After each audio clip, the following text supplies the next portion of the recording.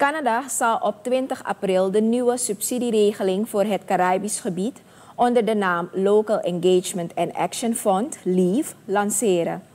LEAVE zal, zal lokale organisaties in acht Caribische landen steunen om hun belangrijkste ontwikkelingsproblemen aan te pakken.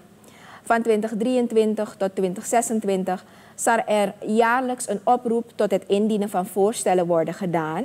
De eerste is in mei 2023 en zal gelden voor Guyana en Suriname. Het lanceringsevenement is op Jamaica en zal via Facebook livestream te volgen zijn.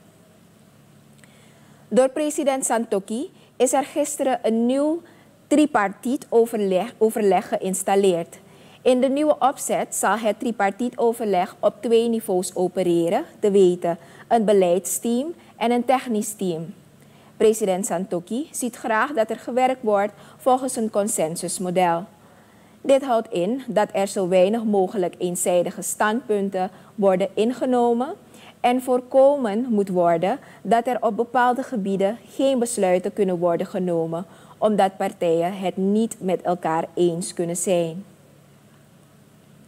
De Stichting Arbeidsmobilisatie en Ontwikkeling SAO streeft ernaar om een leidende rol in te nemen in het verzorgen van gekwalificeerde lasttrainingen voor onder andere de olie- en gassector.